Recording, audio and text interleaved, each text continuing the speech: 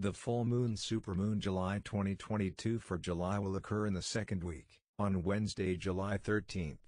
This full moon is in the astrological sign of Capricorn. This will also be a super full moon. A supermoon is closer to the Earth than a normal moon, and this one promises to be the closest out of all of the supermoons in 2022. A supermoon is brighter and an apparently larger full moon due to it being near its closest point to the Earth in its orbit, the perigee. How much bigger and brighter is it? At most, it appears about 14% larger and up to 30% brighter. Because of the influence that both emotion and motivation play in this supermoon, it's a great opportunity to channel your inner Virgo, no matter your sign, and declutter every aspect of your life. It's a great time for a ritual or for a self-care practice that helps you deepen your sense of self-worth. July's full moon is called the full thunder moon, after the frequent thunderstorms that roll in during early summer. Thunderstorms are more likely to form in humid environments during summer because of the moist, hot air rising from the ground to the higher, colder parts of our atmosphere.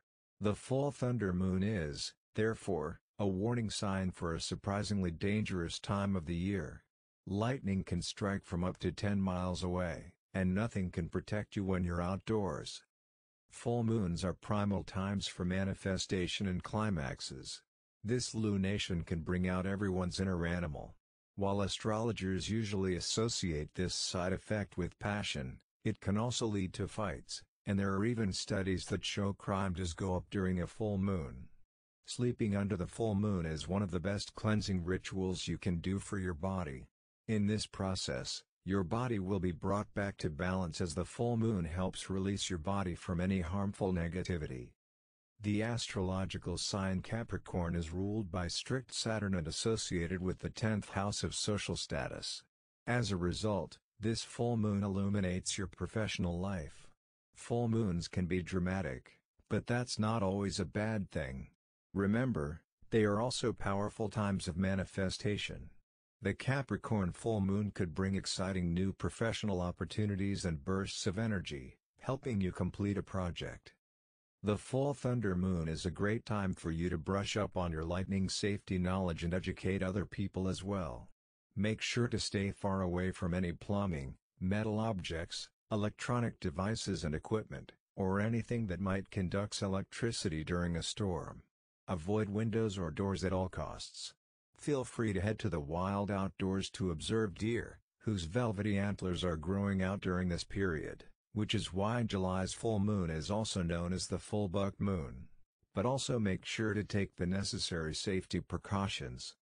July's full moon is also called the full buck moon because it's normally around the time when the new antlers on bucks begin to show.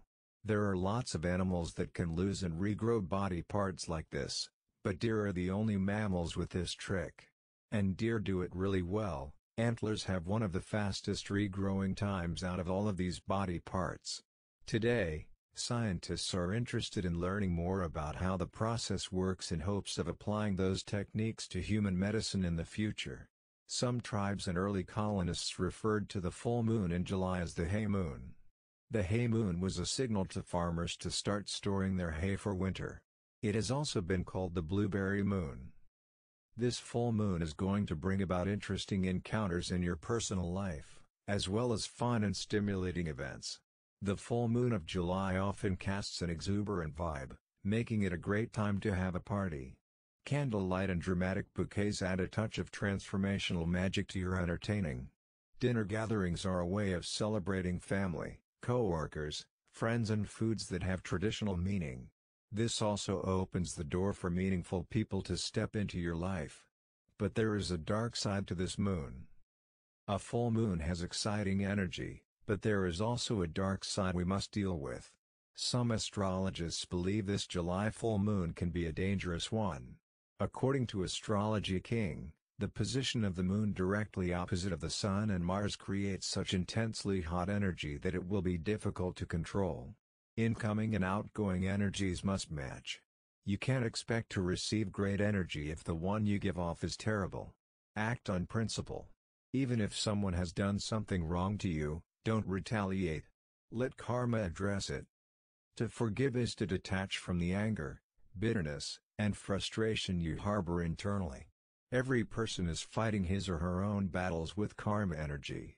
The sooner we identify the sources of our unsettled karma and take action to resolve it, the sooner we experience the miracle of liberation. Do good, even when you're not expected to. When in doubt, act in ways you would want others to act toward you. The full moon is the time to stay calm, let things go, breathe deeply through difficult moments and forgive others for their mistakes. Once we've learned to understand our emotions, we need to learn what to do with them. Understanding our emotions may lead us to have healthy conversations with loved ones. If we've buried our emotions for a long time, it can be very painful to face them. Often it can seem like things are getting worse before we learn to deal with how we feel. Don't give up before you receive the healing benefits of getting more in tune with yourself. Look to meditation to help in the healing process. Join us at www.secretserendipity.com where great insights reveal deep discoveries. Where great insights can impact future choices and attitudes. Where we strive for a deeper understanding of the power of the universe.